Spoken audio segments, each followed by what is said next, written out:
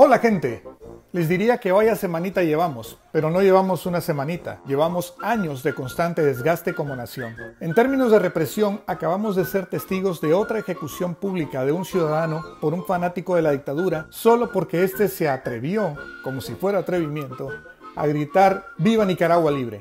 No contentos con eso, prendieron fuego a la casa de familiares de la víctima mientras estos andaban enterrando a su familiar asesinado. Cientos de hermanos y hermanas nicas permanecen en las fronteras de Nicaragua, impedidos de poder entrar por no tener una prueba de COVID-19.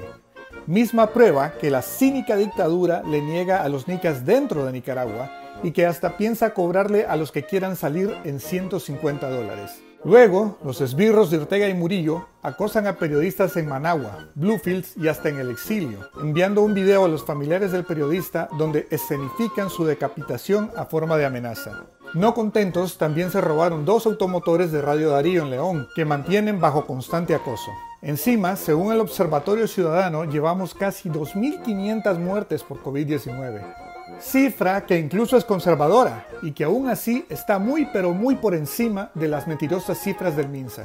Y encima de todo eso, la inseguridad, robos y secuestros express, femicidios, asesinatos a lo largo y ancho del territorio nacional andan desbocados.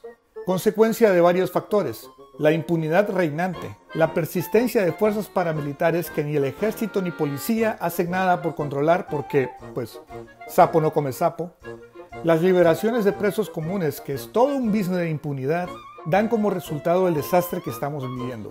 Todo patrocinado conscientemente por Ortega y Murillo. Por eso no es hora de pausas y juegos de vanidad en la oposición. Es hora de unidad en la acción para salir de esta situación. Salió en verso, pero no por eso deja de ser verdad. Eso es todo por hoy. Cambio y chao. Que no me arranque. Hola amigos, soy Mario Ruiz de Garcín y los invito a suscribirse al canal de YouTube de Confidencial para recibir contenido de esta noche y de esta semana. Ahora más que nunca apoyemos a los medios independientes. Muchas gracias.